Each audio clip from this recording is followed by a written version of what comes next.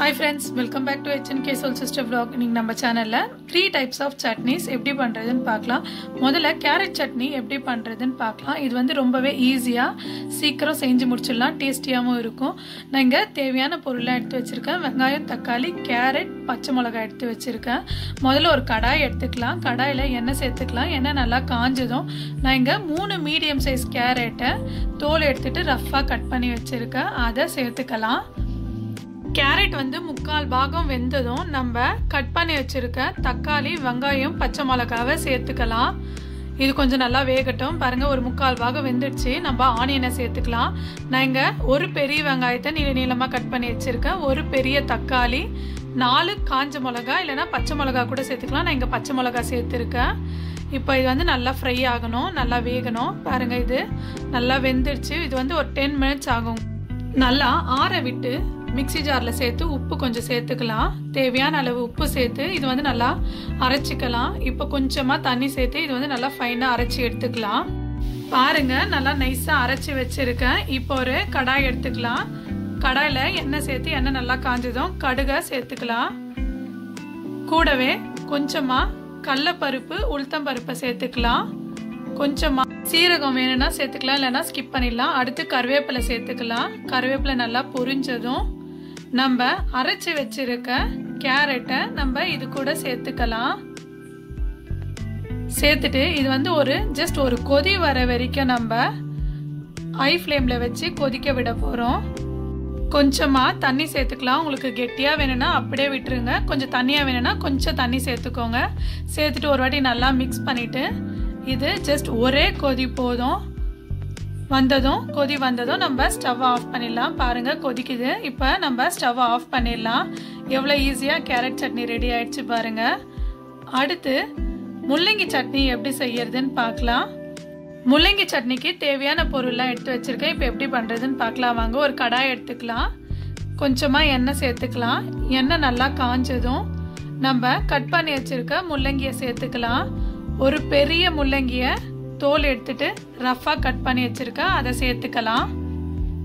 இது வந்து ஒரு டூ த்ரீ மினிட்ஸ் ஃப்ரை ஆனதும் நம்ம அடுத்து வெங்காயம் தக்காளி இதெல்லாம் நம்ம சேர்த்துக்க போகிறோம் இப்போ ஆனியனை சேர்த்துக்கலாம். நான் ரெண்டு மீடியம் சைஸ் வெங்காயத்தை கட் பண்ணி வச்சுருக்கேன். அதை சேர்த்துக்கலாம். அடுத்து ஒரு பெரிய தக்காளி நீல நீளமாக கட் பண்ணி வச்சுருக்கேன். அதையும் சேர்த்துக்கலாம். மூணு பச்சை மிளகாவை சேர்த்துக்கலாம். சேர்த்துட்டு இது வந்து எல்லாத்தையும் நல்லா வேகிற வரைக்கும் நம்ம ஃப்ரை பண்ணி எடுத்துக்கலாம். பாருங்கள் இது ஆல்மோஸ்ட் வெந்துடுச்சு. இப்போ இதை வந்து ஒரு மிக்சி ஜாருக்கு சேர்த்துக்கலாம்.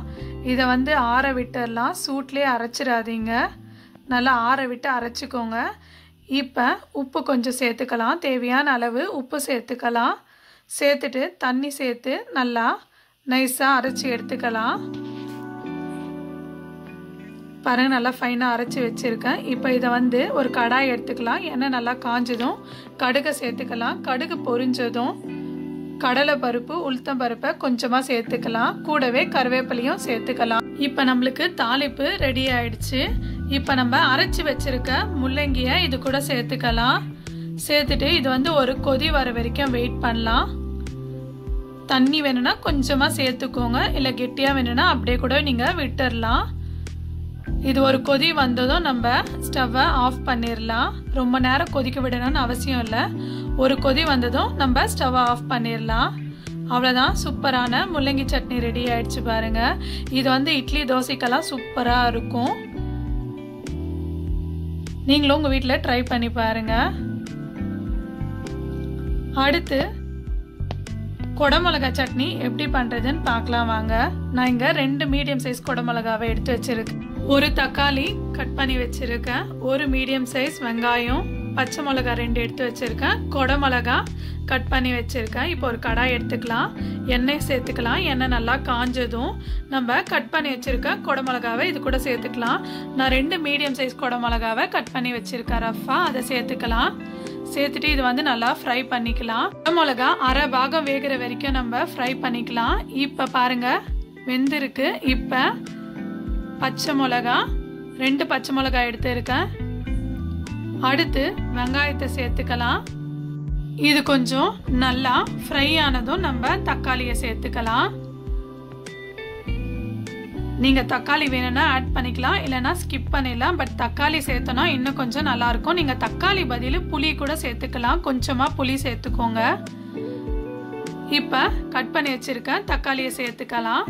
சேர்த்துட்டு எல்லாத்தையும் ஒரு வாட்டி நல்லா ஃப்ரை பண்ணி விட்டுடலாம். இது வந்து நல்லா வேகணும் எல்லாம் நம்மளுக்கு.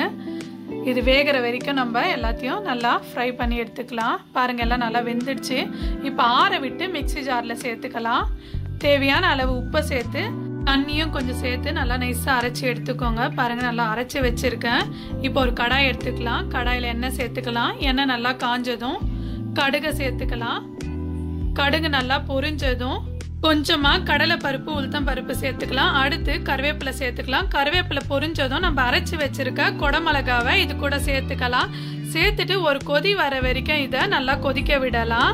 அவ்வளோதான் சூப்பரான குடமிளகா சட்னி நம்மளுக்கு ரெடி ஆயிடுச்சு. இன்னைக்கு நம்ம செஞ்ச எல்லா சட்னியுமே இட்லி பூரி தோசைக்கு எல்லாத்துக்குமே காம்பினேஷன் சூப்பராக இருக்கும். உங்கள் வீட்டில் ட்ரை பண்ணி பார்த்துட்டு எப்படி இருக்குன்னு கமெண்ட் பாக்ஸில் கமெண்ட் பண்ணுங்கள் தேங்க்யூ எங்கள் சேனலை லைக் பண்ணுங்கள் ஷேர் பண்ணுங்கள் கமெண்ட் பண்ணுங்கள் மறக்காமல் சப்ஸ்கிரைப் பண்ணுங்கள் கூட இருக்கிற பெல் ஐக்கானையும் கிளிக் பண்ணுங்கள் பாய்